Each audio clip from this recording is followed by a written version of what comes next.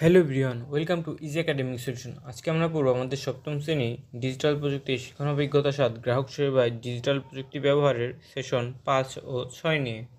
তো তোমরা যদি এই চ্যানেল নতুন হয়ে থাকো, তাহলে অবশ্যই চ্যানেলটিকে সাবস্ক্রাইব করে রাখতে পারো। আর নিত্য নতুন ভিডিওর আপডেট সাথে সাথে পেতে অবশ্যই নোটিফিকেশন আইকনটিতে ক্লিক করে রাখো। তো চলো আমরা সেশন পাঁচে চলে যাই। তো দেখো এখানে কি বলা হয়েছে যে সেশন পাঁচ সেবাসমূহ, প্রাপ্তির ধাপসমূহ চিহ্নিত করে নির্দেশনা, হ্যান্ডবুক, বই তৈরি, অর্থাৎ যে আমরা যে বিভিন্ন সেবা পাবো সেটা সেবা পাওয়ার জন্য বিভিন্ন ধাপ থাকবে। তো সেই ধাপগুলো কি করতে হবে? আমাদের চিহ্নিত করতে একটা হ্যান্ডবুক, বই তৈরি করতে হবে সেই ধাপের। তো দেখো, আগের সেশনগুলোতে আমরা বিভিন্ন কাজের মাধ্যমে নাগরিক সহ ই কমার্সের ধাপগুলো চিহ্নিত করতে পেরেছি, তাই না? তো আজ আমরা এই ধাপগুলো দিয়ে কয়েকটি নির্দেশনা, বই তৈরি করব, যা আমাদের কী করবে? ভবিষ্যতে আমরা ব্যবহার করতে পারব। তো সম্পূর্ণ কাজটি করার জন্য আমরা কী করব? ছয়টি দলে ভাগ হবে এবং প্রতি দলে নিম্নোক্ত কাজগুলো করতে হবে। তো দেখো কী কী কাজ করতে হবে। প্রথম দল কী করবে? সেবা প্রাপ্তির সাধারণ নিয়মাবলীগুলো করবে। তারপর দ্বিতীয়, তৃতীয়, চতুর্থ দল কী করতে?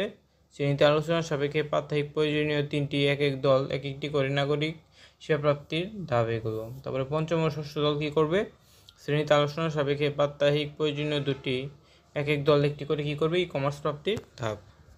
তো দেখো তোমাদের নিশ্চয়ই মনে আছে যে সপ্তম শ্রেণীতে বিদ্যালয় পত্রিকা তৈরি করেছিলাম এবং নির্দেশনা বইও অনেকটা সেই রকম হবে এবং হ্যান্ডবুকটি যেন আকর্ষণীয় হয়, সেজন্য কী করতে হবে? প্রতিটি দল প্রতিটি বিষয়ের জন্য তথ্যচিত্র তৈরি করবে।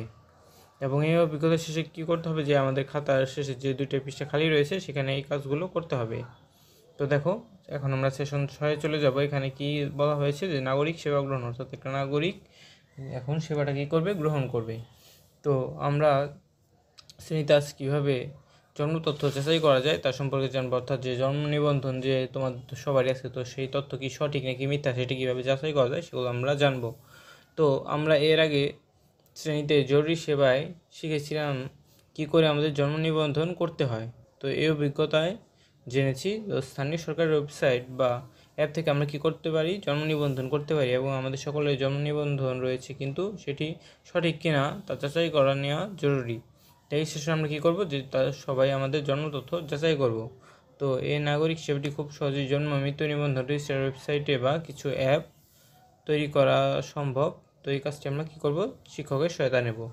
তো শিক্ষকের মতো আমাদের জন্ম নিবন্ধন গোপন নাম্বার রেখে যাচাইয়ের কাজটি করতে হবে এবং এটি হলো তথ্যের গোপনীয়তা, অর্থাৎ এই তথ্যটা কি অনেক গোপনীয়? তো আগের শ্রেণীতে আমরা এটি জেনেছিলাম।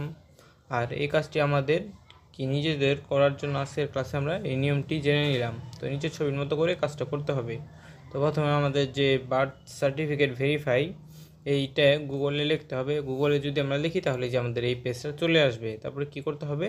দেখো এখানে কী বলা হয়েছে যে, সবার নিচের মজার ব্যাপার একটি খেয়াল করো যে ওয়েবসাইটে আমাকে বলেছে ছিয়ানব্বই থেকে বাইশ বিয়োগ করলে কত হয়? এই যে এখানে দেখতে পাচ্ছ। এটাকে বলা হয় ক্যাপচা তো তারা চাচ্ছে না স্বয়ংক্রিয় রোবট সফটওয়্যার অথবা অসংখ্যবার এই ওয়েবসাইটটি ব্যবহার করতে গিয়ে সার্ভারের উপর চাপ সৃষ্টি করুক।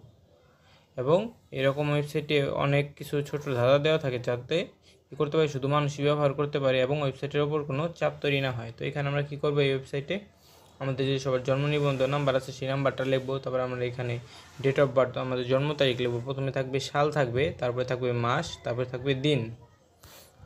ধরো কারোর জন্ম, ধরো পঁচিশ ফেব্রুয়ারি পঁচিশ ফেব্রুয়ারি উনিশশো নিরানব্বই। তো সে কী করবে? এখানে লিখবে, সাল লিখবে প্রথমে, তারপরে কী লিখবে? মাস। ফেব্রুয়ারি যেহেতু দুই মাস, দ্বিতীয় মাস সে লিখবে জিরো টু আর তার তারিখ লিখবে সবার লাস্টে পঁচিশ। তারপরে তোমার এই যে, এই অ্যান্সারটা যে আছে ছিয়ানব্বই থেকে বাইশ বিয়োগ করলে বা তোমাদের যেটা লেখা থাকবে, ওই অ্যান্সারটা এখানে লিখে দিবে। তারপরে সার্চে ক্লিক করলেই তোমার তথ্যটা এসে পড়বে। তারপরে ওয়েবসাইটে প্রবেশ করে আমাদের জন্ম নম্বর, তারপরে জন্ম তারিখ, আর অসংখ্য উত্তর কী করবে? সেখানে ভেসে উঠবে। তো এর মাধ্যমে আমরা যাচাই করতে পারি যে জন্ম নিবন্ধন সব তথ্য কি আছে কিনা, সঠিক আছে কিনা। এই যে এরকম একটা পেজ এসে পড়বে এবং এখানে একটা কিউআর কোড আসে পড়বে কম্পিউটার জেনারেটেড তো আমরা পরিবার বা নিগজনের প্রয়োজন আর কী কী নাগরিক সেবা ডিজিটাল প্রযুক্তি ব্যবহার করে গ্রহণ করতে পারি তার একটি তালিকা প্রস্তুত করব এবং নিচের ফলে আমরা লিখে রাখব। তো এই ছকটি আমরা এখন কীভাবে পূরণ করব? তো চলো আমরা একটা এখন দেখে নিই।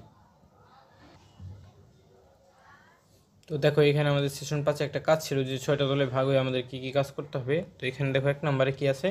রাষ্ট্রের প্রকৃত নাগরিক হতে হবে। তারপর দুই, কি? নিবন্ধনকৃত মোবাইল নাম্বার দিতে হবে।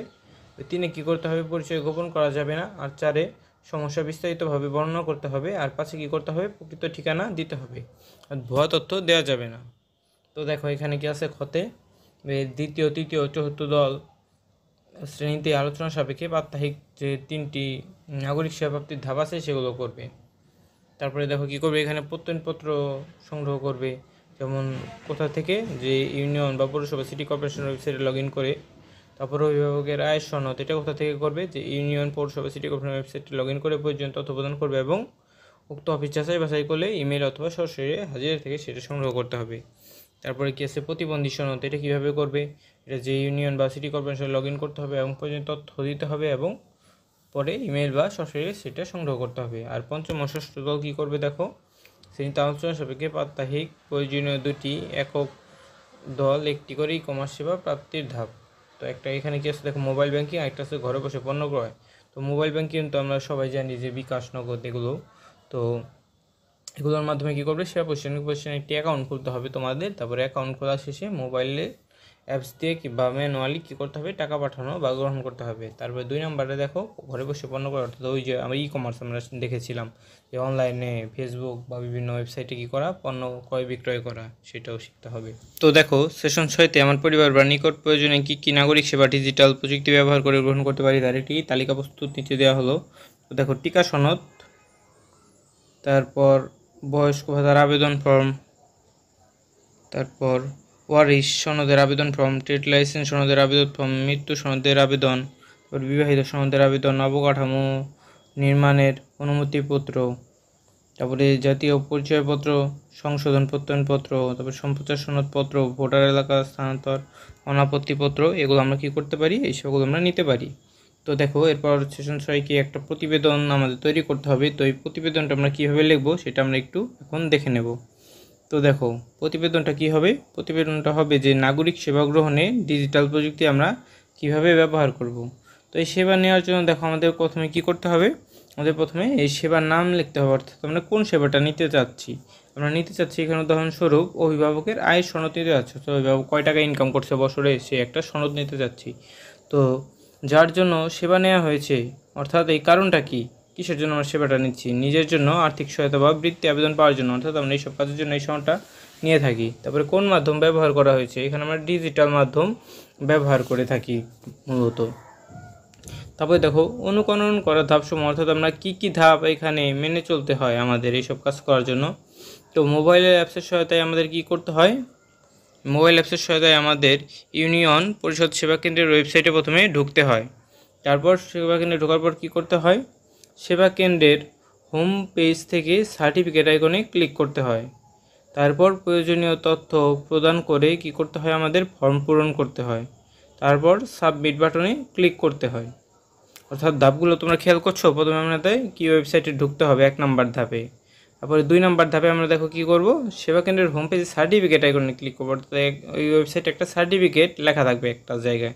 তারপরে আমরা কি করব? সেখানে আমাদের যা যা তথ্য দেওয়া দরকার, ধরো তোমার নাম, ঠিকানা, তারপর তোমার বাবা মায়ের নাম, ঠিকানা, তাদের আয় কত, এই সব কিছু আমাদের এখানে প্রদান করতে হবে।